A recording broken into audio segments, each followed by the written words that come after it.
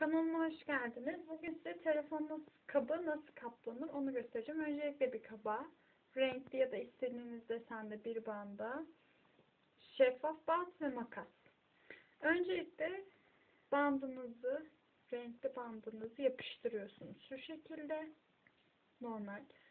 Daha sonra o ince bandın alıyorsunuz. Şu şekilde üzerinden yapıştırıyorsunuz. Çizgilerine dikkat edin. Bütünleşsin diğer taraftakiyle. Çünkü o zaman kopar. Şu şekilde de kesiyorsunuz. Yapıştırdıktan sonra bu kısımlarınız bitiyor.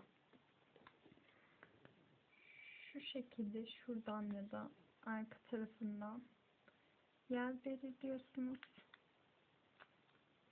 Yeri belirledikten sonra telefonunuzun kısımlarını kesiyorsunuz ve o parçayı oradan çıkartıyorsunuz.